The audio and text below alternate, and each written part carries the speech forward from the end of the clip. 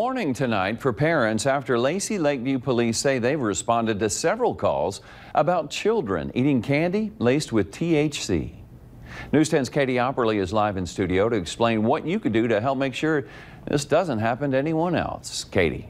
Gordon, the picture behind me is the THC candy Lacy Lakeview police confiscated over the weekend after a child had eaten some of it. Police say this can be a real danger for kids, one they say is on the rise in Central Texas. Kids love candy, but this is no ordinary gummy. It's an edible laced with THC. It's the drug laced with, you know, with marijuana and the side effects can be very alarming. Alarming because these edibles can have a particularly strong effect on children, often more intense and lasting longer. Anxiety, you can actually have auditory and visual hallucinations, nausea, vomiting, so those are things to look out for. It's something Lacy Lakeview police have seen a lot of lately from several calls after children have eaten these candies. The calls that we've received have been medical calls that the, the kids are, are in crisis. Uh, they don't understand the side effects of them.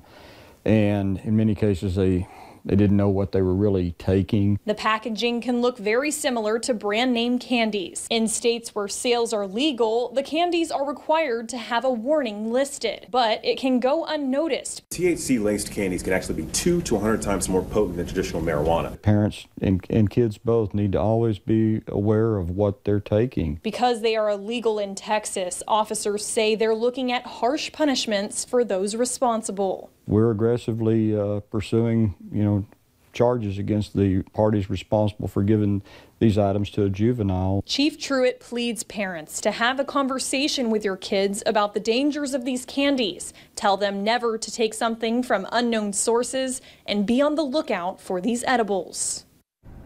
If you do come across these edibles, you should call police right away. If your child has eaten them, seek medical help. Live in studio, Katie Opperly, KWTX News 10.